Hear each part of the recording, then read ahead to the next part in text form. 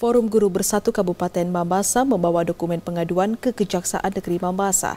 Selain pengaduan, para guru juga meminta perlindungan hukum usai melakukan aksi unjuk rasa. Mahasiswa dari Poros Rakyat bersama Forum Guru Bersatu Kabupaten Mamasa mendatangi Kejaksaan Negeri Mamasa membawa dokumen pengaduan. Pengaduan terkait dana sertifikasi yang dialihkan pemerintah tanpa sepengetahuan penerima. Dokumen pengaduan itu diserahkan sejumlah perwakilan mahasiswa dan guru usai melaksanakan aksi unjuk rasa di kantor Bupati Mamasa. Selain pengaduan, guru juga meminta perlindungan hukum kepada Kejaksaan Negeri Mamasa. Mereka meminta perlindungan hukum pasca tuntutan tunjangan sertifikasinya yang tidak dibayarkan oleh pemerintah sejak bulan Oktober 2022 lalu. Tujuannya untuk memberikan rasa keamanan bagi sejumlah guru yang telah turun ke jalan. Jenderal Lapangan Aksi Alfred mengatakan, setelah melakukan aksi tentu banyak intervensi ataupun dari berbagai pihak tertentu.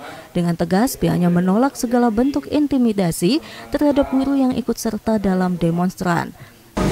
Uh, tujuan kami ke kejaksaan ini adalah merupakan tindak lanjut daripada apa yang menjadi uh, dasar kami turun di jalanan hari ini. Kami menyerahkan satu dokumen yaitu dokumen uh, pengaduan dan sekaligus perlindungan hukum.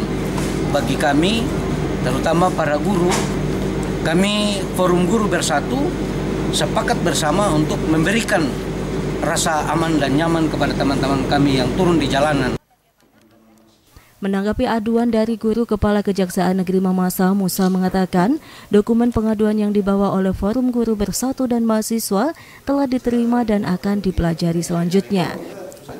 Jika di dalamnya ditemukan adanya dugaan tindak pidana, tentu akan diproses sesuai jalur hukum yang berlaku. Namun sebelumnya, pihak kejaksaan tetap melakukan konfirmasi kepada pihak berkompeten.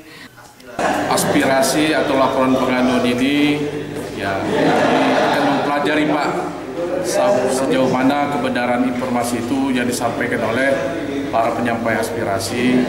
Tentunya kami melakukan terlebih dahulu klarifikasi terhadap suatu informasi. Apakah benar informasi itu yang disampaikan? Apa-apa saja yang dilaporkan tadi? Tadi dilaporkan itu adalah tunjangan sertifikasi maupun tunjangan tambahan penghasilan guru yang belum dibayarkan sampai saat ini tentu informasi-informasi itu nanti kami akan melakukan klarifikasi kepada pihak-pihak yang berkompeten.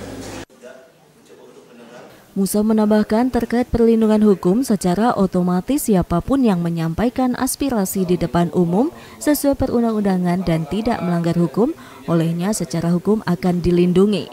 Wahyu Andi melaporkan.